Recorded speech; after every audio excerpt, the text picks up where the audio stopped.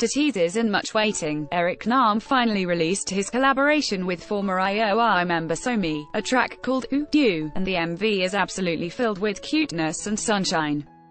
The collaboration is expected to be part of Eric Nam's seasonal release project, Spring Note, and a led into his much-awaited comeback mini-album in March.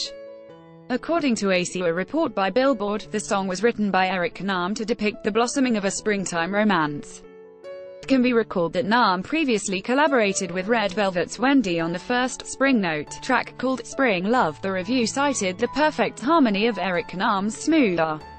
The retro theme of the MV that was reminiscent of Wes Anderson movies served as the perfect backdrop as Nam and Somi cruised on a road trip, singing the snappy, upbeat melody which immediately inspires happy vibes among the listeners. The collaboration with Eric Nam is 16-year-old Somi's first endeavor as a solo artist under JYP Entertainment. It can be recalled that the K-pop group IOI disbanded only this January. Many of the YouTube commenters complimented Somi for her mature sound and wished her well for her solo career. A lot of fans were also asking for an English version of the upbeat song. This song is so good. Need an English version of this, said one commenter which was supported by fellow fans.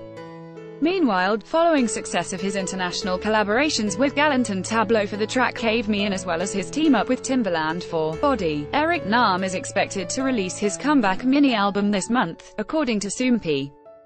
Eric Nam's second mini-album will be entitled Interview, which will be released on March 24. His agency, in a statement said that Eric worked hard on the album despite his busy schedule and promised his fans that it will show different sides of Nam as an artist.